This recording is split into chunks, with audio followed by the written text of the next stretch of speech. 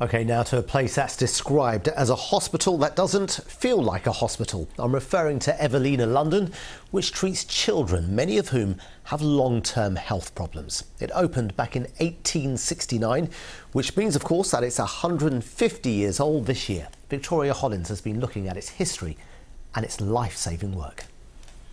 This was a hospital built from love, founded in 1869 in one of the poorest parts of Southwark.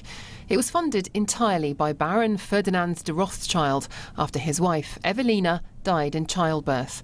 The hospital was considered a model institution with light, airy wards. Today, a plaque marks the site. The original hospital walls form the edge of a small park.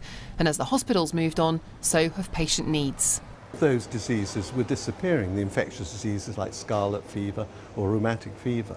But what was then becoming important was the recognition that children with heart disease or kidney disease, which was my speciality, they required special provision and they needed to develop the special expertise to look after them. Doctors and nurses at the Evelina Hospital in London wear casual clothing and a helter-skelter takes centre stage in the lobby.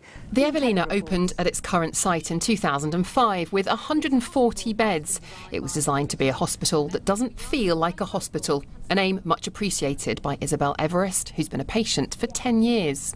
It's kind of like a second home because I come so often. Doctors here are a lot slower to tell you and they simplify what they're going to say. So, as a young person like me or even older than me could understand.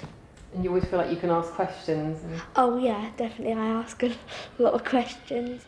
Evelina London is now the second largest provider of children's services in London and it's still growing. And this is the hospital's future, a new section of the paediatric intensive care unit. It's part of a brand new ward, the Sky Ward, which will eventually have 28 beds.